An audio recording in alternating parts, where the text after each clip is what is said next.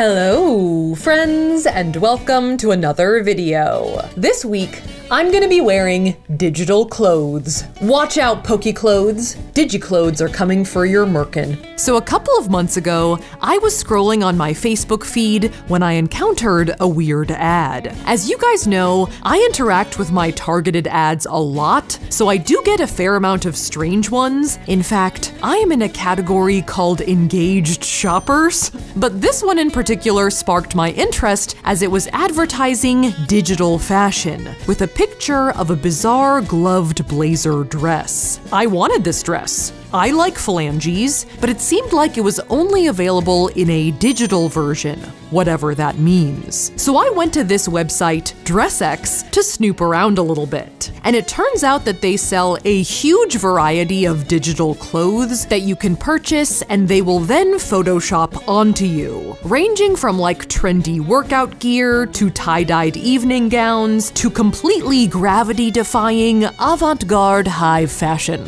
And their reasoning behind behind selling digital clothing is threefold. One, it reduces clothing waste, so like you can buy a trendy item and just wear it once. Two, it makes having luxury items more affordable. And three, it's all size inclusive, because they don't have to actually manufacture any specific items, it's just like an editable Photoshop file. And though I'm still trying to wrap my mind around all of the ins and outs of actually buying and wearing digital clothes, their array of items is pretty enticing. And there have been plenty of articles heralding digital clothing as the next big disruptor of the fashion industry. So I figured we better try this thing out for a week to see what it's all about. Now, DressX has recently launched an app where you can try on, purchase, and wear digital clothes. I look like an eyeball. Via augmented reality. All right, next. Coffee jacket. X marks the spot. Your hands are crazy. Oh! Ooh, this one's cool. Yeah. Kind of like exclusive Snapchat filters. Excuse me. You caught me unawares. I'm just in my robe. I think this is sort of leaning into that NFT space. Oh! Ooh, oh! Oh, oh, oh, oh. It's very a bug's life to me. Edgar Allan Poe esque, which right now is mostly focused on buying exclusive digital art as like an asset. Ooh, a starry chest, which DressX's fashion designs could potentially function as as is, but a lot of people theorize that the next step for NFTs will be interacting with your digital assets via AR. Well, apparently the next evolution of NFTs are on the way. Basically, it'll be virtual clothes that we can wear via augmented reality. Hold up, I just noticed it says $4,100 for a virtual shoe. But at this point, the app and their AR technology seem to be in the early stages. It's supposed to be kind of like a planetarium outfit, I think. Okay. Like celestial sky vibes. Oh my god. And though it is cool conceptually, look at the hands, the gloves. The gloves look terrifying. They've got some finessing to do. Oh, look, if I move my leg, Oh yeah. look at the dress. So we're gonna focus on the still photo slash photoshopping aspect of their service because based on the pictures on their website, they seem to have that down. Like, some of these look really good. And I feel like to truly test out this service, we should try multiple different types of looks with different use cases, and then post them and see what you guys think. So for day one, I decided to try and go for something that was cool, but still conceivably a look that could exist IRL. With the idea that maybe it would be interesting to try and test out if you could wear a virtual item and pass it off on social media as if you were actually wearing it. Yes, this is the catfish test. So I picked this dress slash cape look called the All Over Dress Coat Black by Andrew Pass for 35 bucks. That has kind of a kaleidoscopy, light bulb filamenty, Eye of Sauron print on it. And overall, despite my lack of ability to describe it, this is something I personally would love to wear. So we went out and took some photos to send to DressX for them to Photoshop. Now, one aspect of this process is that you have to take the photos beforehand. I guess that sounds intuitive, but it is kind of the opposite way that people usually wear clothes, where you can try it on first, get a feel for how it falls, and then decide how you might want to pose in it. Whereas for this, you kind of have to guess how the outfit is gonna look on you later. Like, I don't think it's particularly easy to take a photo without the outfit you're gonna be wearing in the photo. And DressX recommends that you take photos with skin tight clothing on that also doesn't interfere with their outfit in an evenly lit area, which is why I wore this slip dress next to this brick wall. And for this one, I didn't really mix up my posing that much just because I felt like the outfit was mostly cape, so I should just be like a long column. I mean, we gotta just try them. They look great, actually. I really like them. Great. All right, cape dress.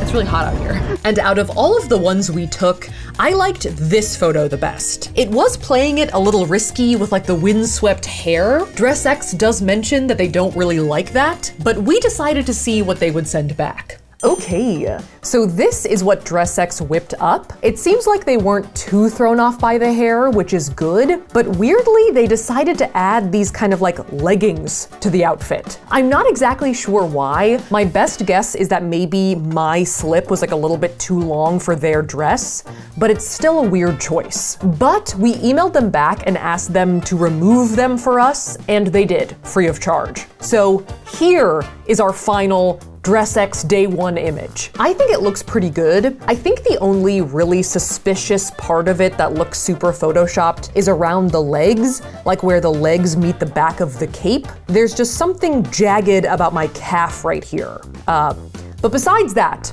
from far away, it's working for me. So we posted this to Instagram with kind of like a vague caption to see what people would think. And overall, I would say that people actually liked this photo. You look fire. Hey queen, are you cosplaying a mountain? I'd wear this TBH. There were a couple of suspicious minds, some people just thinking I was generally up to no good for a video, which I was. I can smell the video being edited. And a couple of people who did think that the photo looked photoshopped, but weren't exactly sure what was going on. It looks photoshopped, like she's just a sticker they slapped on the background, or it's the dress, I can't tell. Other than that, people were just like hyping up the dress and being really nice about it. Yes, step on me queen, which made me feel a little bit bad for catfishing them, but in the pantheon of catfishes, I think it's pretty harmless. So for day two, I decided to do a similar thing to day one, where I went for an outfit that I would possibly normally wear, just digital. Except this time, with more of like an evening slash event feel. And I found this collection that I really liked on the DressX website by designer 2WB. And of these, I chose this longer, semi-fancy number, the NYX dress, for $40. I really like the sheer layered part on top, as well as the cutouts, though I was curious to see how they would handle the sheer interplay with my chest, as I was not gonna be naked taking the photo. In fact, that would have been very inappropriate because we decided to take this photo at an art museum. Maybe we can use the uh, art pieces like a green screen for anything. We chose this blue rectangle to pose in front of because the dress is kind of blue. Seemed to make sense. And out of all of the ones we took, we chose this one to send off. So I would say the photoshopped version we got back is actually pretty good. I think they did quite a good job with the mesh part, kind of layering it over the tube top I was already wearing. The only part that is a little sus to me is once again like around the legs and feet. There's just something kind of sharp about these edges here. So my legs and their photoshopping, not a great match. Not sure why. Now, full disclosure, we did order a second similar dress like as a backup, and that one did not turn out so well. I think it's mostly like the cutouts on the chest that are kind of weird, probably because my midriff in the original photo wasn't exposed, so they had to like invent this skin here, and that looks weird. But the first photo, I like. Me likey. Now, as for how we were gonna get feedback on it, I didn't wanna just post on the Instagram feed every single day, so we actually put this into a series of stories with some prompts. We sandwiched it in between some other polls to maybe make it a little less conspicuous, but also to possibly garner some more responses. And overall, I would say that people also seem to like this one a lot. The top is everything. You look like the fourth Hex Girl. Hot sun emoji. A lot of people actually said it gave them like modern Morticia vibes. Morticia Addams takes a job at the MoMA, which I consistently strive for. And though there were a few people who cried Photoshop, you drew it on or something. Ma'am, is this an edit? There were a lot fewer skeptical responses than on day one. Maybe because it was a story, people spent less time like zooming in on it. It just kind of flowed past, but I think this one was a winner overall. Could have been the blue rhombus. Now for day three, I wanted to start to move away from realistic and into the more bizarre items. There were a few looks that kind of straddled the two, but when I saw this one, I knew we had to try it. Now this bad boy is appropriately named Long Long Sleeve by Laricot, and it costs $35. And this really reminds me of some of our ugly clothing items we've tried in the past, like the long sleeve jacket and the long-legged jeans. And I figured we could post this under the guise that it was just another crazy clothing item for a video, and to see if I could get away with it, or if it was just too weird to be believable. Once again, Safiya, channel your inner Slender Man. And for our photo, we wanted to take a picture where my arms were swinging. It's kind of like Abbey Road, Soph, but just with your arms. So we could emphasize the long, long sleeves. And after several enthusiastic walks, I think we got something we could use. So this is the photo we got back, and overall, I think they did a pretty good job. Like the visual impact of the image is strong. They definitely got what we were going for with like the swinging arms thing, because the sleeves look magnificent. Very Squidward-esque. There is something about like the back of my neck and neckline that's kind of weird, and I'm worried that might be the tell for some people that it's definitely fake, but from afar, it looks pretty good. So we're gonna go with it. So this photo went back on the Instagram feed, and I think because it's framed from a bit further away and the emphasis is so much on the sleeves, most people accepted it as a very weird, but real shirt. The ungodly sequel to the long-armed jean jacket. So people either tried to roast me for wearing it, you look like an octopus. Squidward, is that you? No, this is Patrick! Or tried to support my questionable fashion decision. Why am I kind of obsessed? This is oddly majestic. Some people did have growing suspicions that I was up to something for a video, but I think at this point, they just thought it was another ugly clothing video. I am mildly concerned but not surprised. And I think most of the disbelief in the comments actually came from how strange they thought the top was. I refuse to believe this garment is real. And not from suspicions of Photoshop. And actually, quite a few people praised our photography skills for being able to capture the sleeves midair. I can only imagine how difficult it was to get this photo. Perfect shot. Also, interestingly, this Instagram got more likes than my birthday post, which is fine. It's fine. I see how it is. So for day four, I wanted to try out some of DressX's accessories. They actually have quite a wide array of shoes and bags and jewelry and hats and goggles. Those look pretty solid. And I do think that the digital accessory use case kind of makes sense to me. Sick, man. like, you might want to add an accent to an IRL outfit. Are they earrings?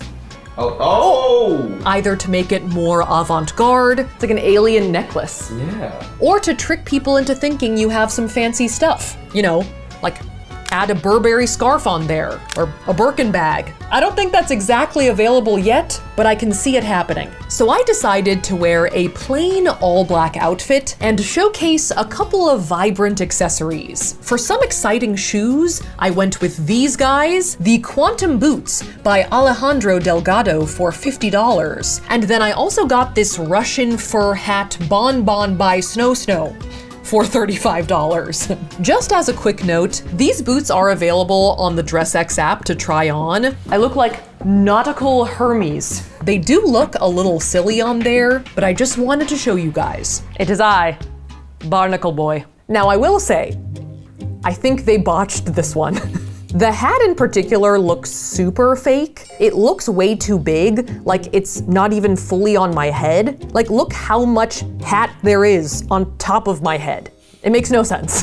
the shoes are actually okay. The blue barnacles are quite detailed, and even though they don't necessarily look real, they at least look like they are on my feet. Full disclosure, this was actually our second take on the hat and boots. The first photo we sent them did come back with decent boots also, but the hat is somehow worse. I feel like if this hat looks too big, in this one, the hat is too small. I should have known it was gonna be trouble when it walked in, as there were no photos of it on anyone, and also no 3D renderings of it. So, um, learn from my mistakes. So as for how and where we were gonna post this photo, I mean, I knew this one was a stinker, so I kind of wanted to hide it a little bit. So we decided to put it in an Insta story with a very simple poll, just asking people to pick hat or boots. And as pretty much anyone would expect, the boots won overwhelmingly. I actually didn't ask for any comments, I just asked people to click hat or boots, but some people felt compelled to slide into the DMs and tell me that they thought the hat looked fake. This hat hurts my brain. That hat does not look real, I don't believe it is. The hat looks edited on. The shoes don't though. So I think DressX needs to make sure they are photoshopping their items onto people well, otherwise it's just not gonna work out. See? The numbers.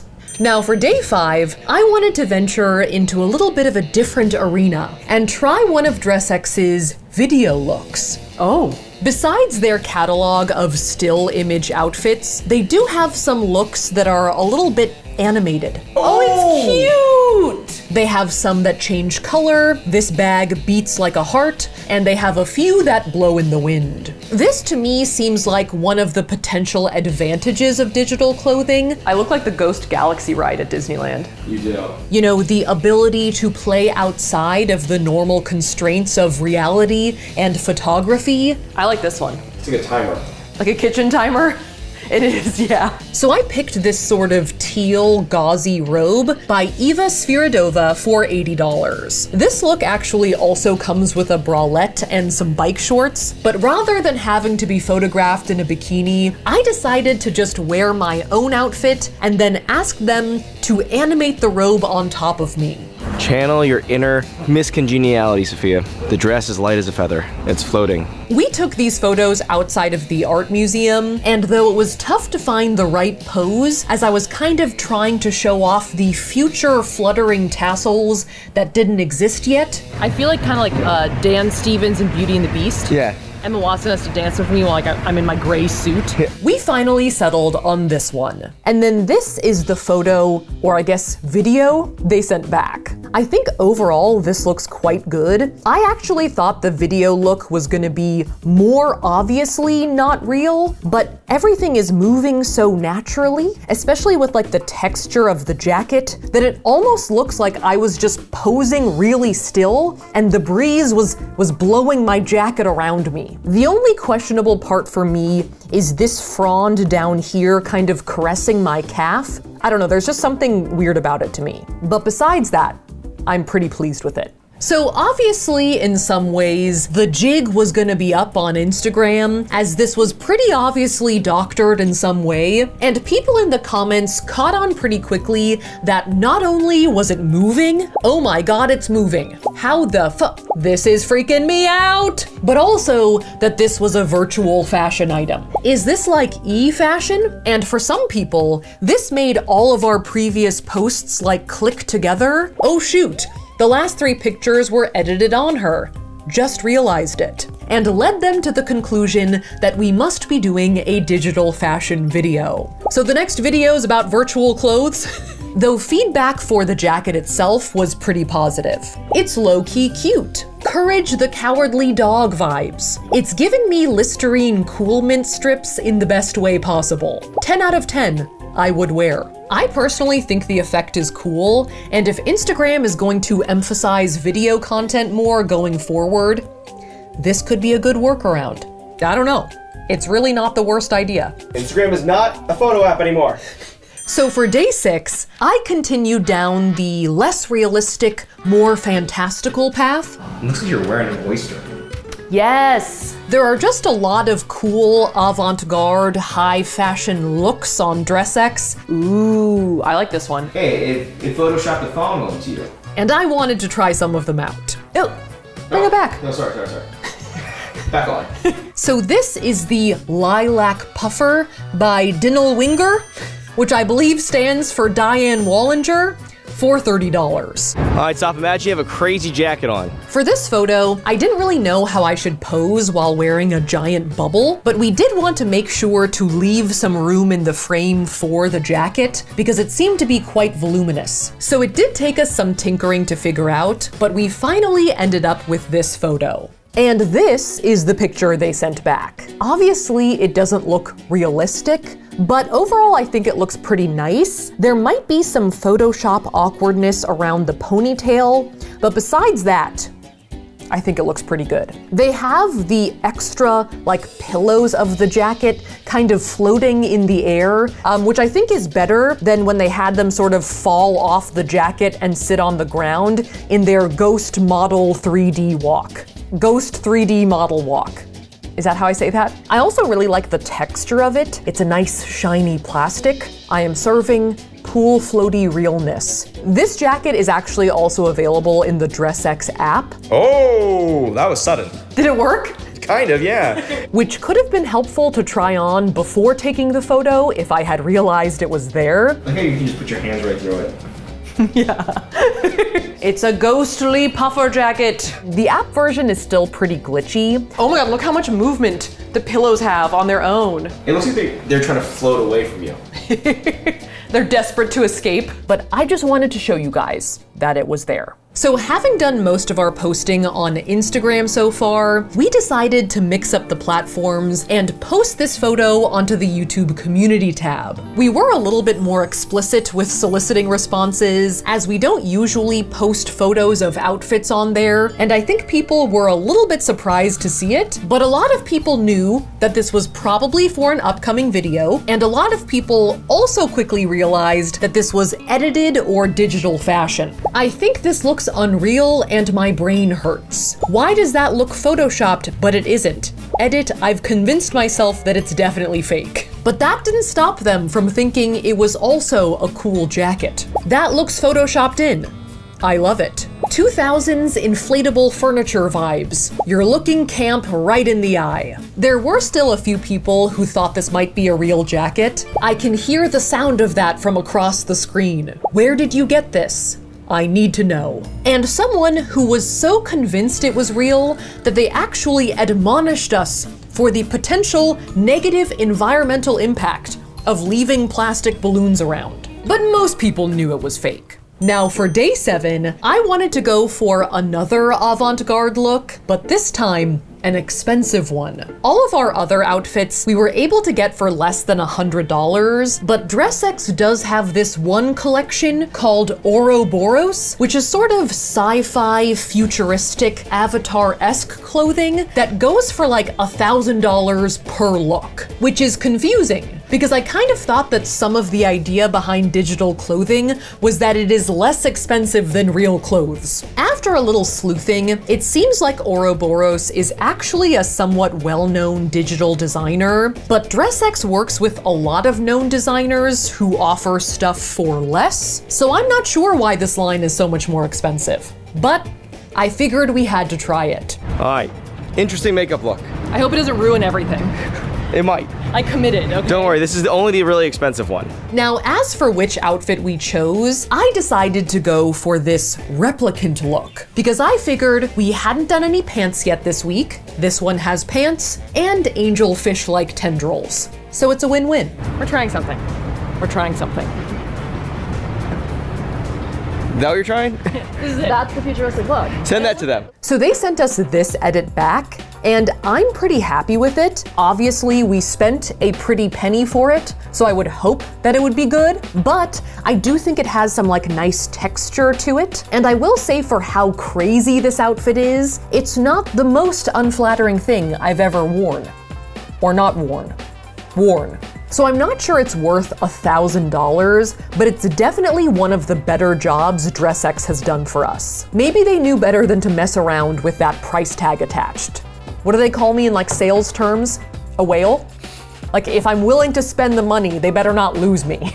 So for this final post, I decided to return to the Instagram feed once again, just for the grand finale. And though I had braced myself for this look to be duly roasted, I actually think people might have liked this one, can I say the best? Out of all of them. I think so. Partially, I think because it was just so out there. Wow, I think this might actually be the weirdest thing you've ever worn. I don't know what this is, but yes to everything. Serving us Golgi body yaddy yaddy. And partially because I think the photoshopping job was just the best. I want to hate this, but I just can't. Some people even thought it looked like a pop star music video costume. You have arrived to Chromatica. Obviously, a lot of people knew that it was edited and also for a video, but overall, I thought it was very well received, with actually the most comments out of all of our posts from the week. If this is a video, this is probably my favorite outfit. So, $1,000 well spent? Maybe? Jury's still out on that one. So that was my week wearing digital fashion. To start with the positives, I actually thought that some of the photos we got this week were really cool, and though I don't think any of them fully fooled the internet into thinking they were 100% real, that didn't stop people from liking how they looked. I also think that DressX's catalog of items is impressively large and varied, so I think they're doing a good job of sourcing digital clothes that are just straight up cool and desirable. Now, as for the negatives, I did find it a bit awkward to take pictures with the intent of adding clothes to them later, You have fun? I just feel kind of naked. You are. Yeah. And I also think that DressX can sometimes miss with their photoshopping. And though they are willing to do adjustments to the same photo for free, I do think they need to be able to consistently deliver a good product for their value proposition to make any sense. Also, I do think the fact that you have to pay for every individual picture is a little flawed. Like if I wanted to do a carousel post on Instagram of three pictures of me in the same outfit, I would have to buy that outfit on their website three separate times. I'm not sure what the workaround there could be. I guess that's why they're developing their app, but that needs some finessing as well. Why is it you're wearing a Mountain Dew bottle? All in all, though, I think I am pro digital fashion. I think there are some kinks to work out, and I am not really on board with dropping $1,000 for a digital outfit, but I like the idea that virtual fashion can be untethered from reality and can be purely about imagination and fantasy. I don't think it's gonna replace real clothing, but overall, I am down. Thank you guys so much for watching. If you liked that video, make sure to smash that like button. And if you want to see more videos like this, make sure to shamash that subscribe button. Here is my Instagram. Here is my TikTok. Here is my shorts channel. Newly minted YouTube Shorts channel, and here's our live streaming channel, where we live stream every Tuesday at 5 p.m. Eastern. And with that, I will see you guys a next time.